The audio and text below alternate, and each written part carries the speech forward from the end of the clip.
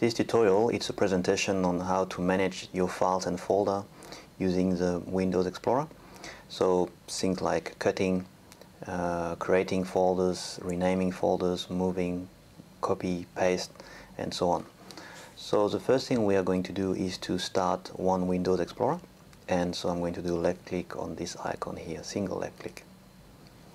And I'm arriving in library here. So I would like to create a uh, folder on my desktop for reporting. So the first thing that I want to do is I want to go to my desktop. So I'm going to do a left click on desktop. Be sure that you got the right view selected here. So you're probably better off at the moment being on details. So you would go to this uh, down arrow here for more option. And if you have an extra icon or large icon, I recommend that you use the details view bit easier to view. So you can resize your view and make yourself comfortable. The first thing I'm going to do is to create a folder. There's two ways, or many ways, but two ways of creating folders is, the first easiest thing is to do a left click, single left click on new folder to create a new folder. So I can do this, and do a left click, new folder, and straight away he's asking me, how do you want to call this folder? So I'm going to call it reports. And I press enter. Now I've got uh, my folder report here. I can also create uh, a folder using a right click in a white area here not on any of the file here on a white empty area. If I do a right click there it will tell me what do you want to do. So I'm going to go down to new do a left click on new and then a left single click on folder. Same thing it's asking me this. So I can call this one report number two. If I want to rename a folder, there is also a different way to do this. The, probably the easiest way will be just to do a right click on the folder, on the, the name here, right click, and go down to rename. And I can rename it. So if I can rename report number 3, and I press enter. The other way to rename a folder is to, once it is selected, let's say I'm selecting, so just doing one left click on report number three, I'm going to do another single left click on the name, and then it's allowing me to change the name again. So I can then call it number four, press enter. That's a different way to rename it. What I can also do is to, uh, I can delete simply a folder. So you can select the folder and press on your keyboard delete and that will delete the folder probably will ask you, are you sure you want to delete? If you're not sure you made a mistake, you can click no. But if you're happy with deleting it, you can press yes. And then the folder is gone. I can do the same thing doing using the right click. So if I want to delete this folder report, I'm going to do right click on report and click delete. Am I sure? Yes. All my folder has been deleted now.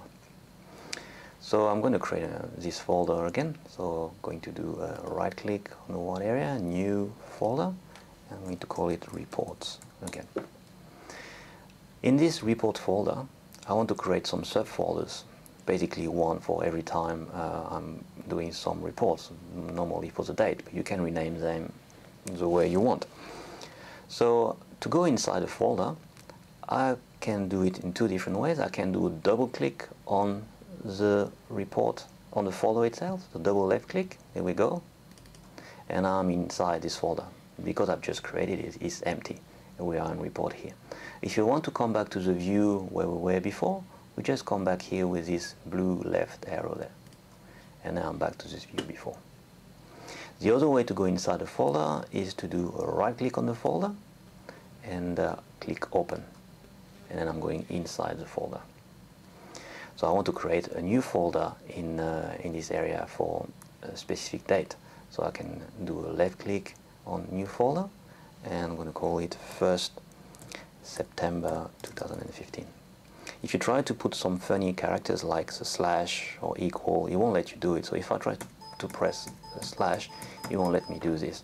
So for the date, I recommend to use the dash. So 1st of July 2017, and I press enter. I'm going to create another folder, right click in the empty white area, new folder. This one, the 4th July 2015. And you can do this as many times as you want. new folder, then 7 2015 and I can create another one, new folder 15 7 2015.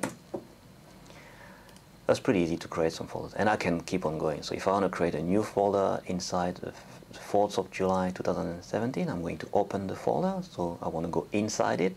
I'm going to do a double click on the folder. Now I'm inside is empty and I can create a new folder. So right click, new folder. This one is um, maybe called training. And I can create another one called photos.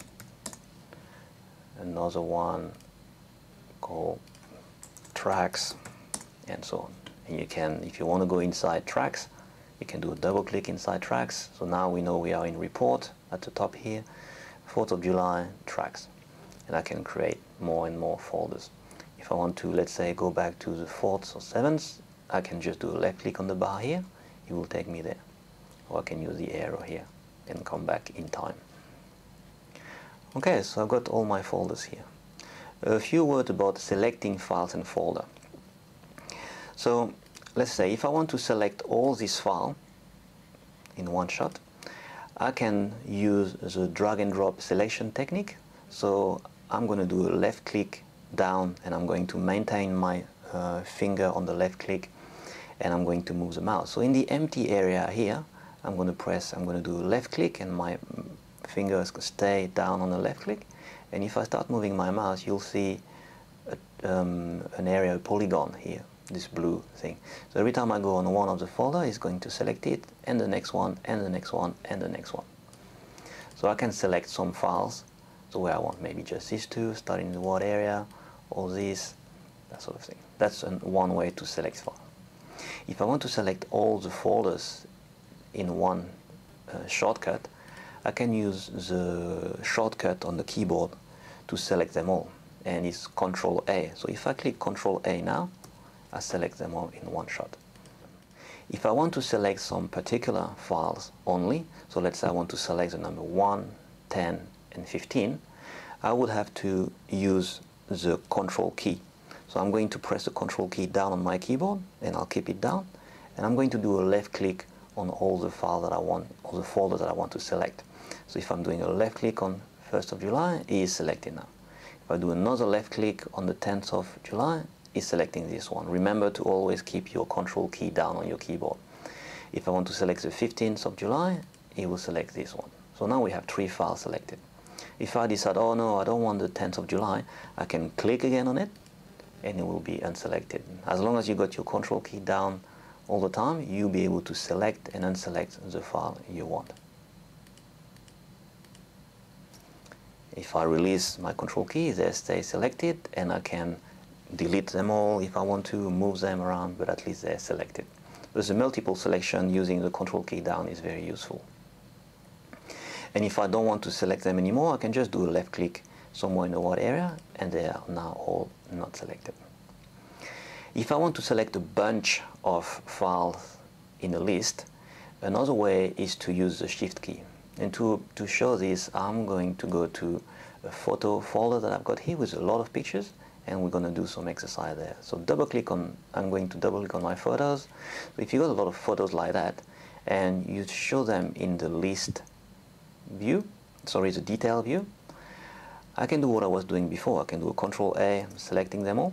So if I do a control A, they're all selected or I can select one after the other. So control key down this one this one this one. So every time I do a left click selecting something. Okay? Or if I want to unselect like them. Let's say I want to select from the 357 here all the way to the 380 you can do it by hand but it takes a long time. So control key down left click, left click, left click, left click, left click. It takes a long, long time, and we don't want to do this. So there is an easy way to do this. So the first thing is I'm just going to select the 357, so nothing on the keyboard, just a left click. First one is selected. And I'm going to have my shift key down on the keyboard, so I press the shift key down, and I maintain it down. And I'm just going to click at the end of the list that I want. So if I'm going to do now a left click on 380, is going to select the 357 and all the ones that are in between all the way to 380. Do a left click now with my shift key still down and I've got all my lists selected. So it's very useful when you've got a list of files that you know they're just one after the other and you want to select them all. I can do from 384 if I want to, so I'm select 384 and I'm going to press my shift key down all the way to 367 if I want to. I can move them around. So control for specific selection, control key down and the left click. Multiple selection in the list, we're going to use the shift key. Select the first one, get your shift key down and then select the last one there. So very easy to do. So why are we doing that sort of selection like that? It's, I'm going to give an example now. So I got my um, some of the pictures on the left, a lot of them, and I want to put them in the right folder. So let's say I want to put some of this picture onto the 1st of July, some of the other pictures on the 4th of July, and so on. So this is where we start, this window, and this is where we want to go. So let's say I want to put some of this picture into the 1st of July 2015. So I'm going to double click on this and now it is empty. And I want to select some of the picture. Yeah. So on the left, so I'm going to select 355. So I'm going to put my control key down and select 355, 356, 360, 361. What I can do is that I can drag and drop some of this picture onto the right side. What that means is going to move this picture from photos to report. So they're going to disappear from the left to go there. So the drag and drop selection is on one of the blue ones that are selected. I'm going to do a left click on the name and keep my left click down. Here it is. And now if I move my mouse, I can see that I've got four selected. I'm going to move them all the way, all the way, all the way. And he's telling me now he's going to move them and if I release my left click, here they are. So we move the pictures, the files, this is the same thing for the folders, from this window to the other one. And that's the same thing. So if I now want to select some of the, from the 366 to the 380, I'm going to do a left click on 366 to select the first one. To have my shift key down and I'm going to select now, do left click on 380 so I want all of them here. Same story, I'm going to do a drag and drop. So in one of the blue area on the name, not on the white area, only in the blue that's the one I selected.